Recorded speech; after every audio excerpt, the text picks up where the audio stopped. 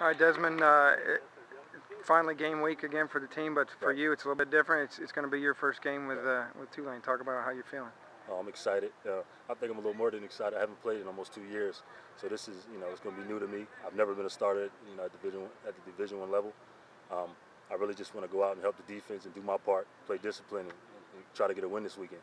I asked Coach this question. You guys started preparing for Houston last week. Right. Obviously, on Saturday, some things changed for Houston. They lost both of their quarterbacks. Uh, what what does that bring differently today for you guys? Uh, really, you know, we just want to stay disciplined. You know, we don't want to play or change our defense too much to one player. They still have a, a great attack. You know, they got great wide receivers. You know, good running back. So we just want to really play discipline. You know, stay in our gaps, get a rush, and you know, try to cause some havoc. Pretty much play, you know, play the same defense we've been planning for all week. You know, and get out, like I said, and get a W this week. Now you guys get to uh, hit the road. Uh, talk about that. You know, it's going to be your first, obviously, first road game. Right.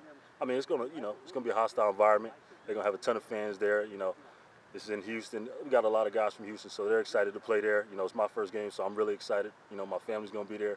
Uh, so really, we just want to get out and, and focus. That's the biggest thing. It's, it's going to be loud, but we just want to play our technique.